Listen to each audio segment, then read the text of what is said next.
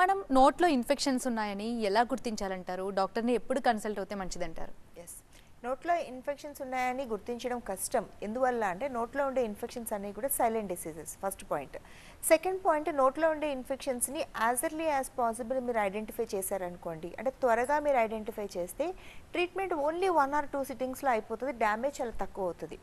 ఎందువల్ల ఇలా ఇన్సిస్ట్ చేయడం జరుగుతుంది అంటే నోట్లో ఉండే ఇన్ ఏ ఇన్ఫెక్షన్ అన్నా పంటికి సంబంధించింది కాదు చిగురికి సంబంధించింది కాదు లేకపోతే నోట్లో గడ్డలు అవ్వడం కాదు ఎనీథింగ్ వాటికి పాకే లక్షణం ఉంటుంది. మీరు చాలా కాలం నోటీస్ చేసుకుంటే ఏంటి ఒక్కసారి ఈ రోజు మనం చూసుకుంటే ఒక్క పన్ను నల్లగా మారుంటుంది. రెండు మూడు నెలలు గడిచేసరికి రెండు మూడు పళ్ళు నల్లగా మారుంటాయి. అంటే ఏంటి ఇన్ఫెక్షన్ స్ప్రెడ్ అవుతుంది అని మీరు నోటీస్ చేయొచ్చు. అలా అన్ని డిసీజెస్కి లక్షణం ఉంటుంది ఇన్ఫెక్షన్ స్ప్రెడ్ అవ్వడం అనేది.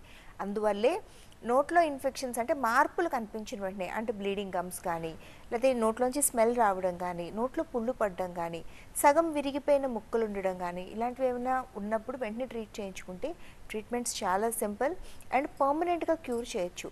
అశ్రద్ధ చేస్తే యాజ్ ఏ సెడ్ అది పాకుతూ ఉంటుంది కాబట్టి పెరుగుతూ ఉంటుంది.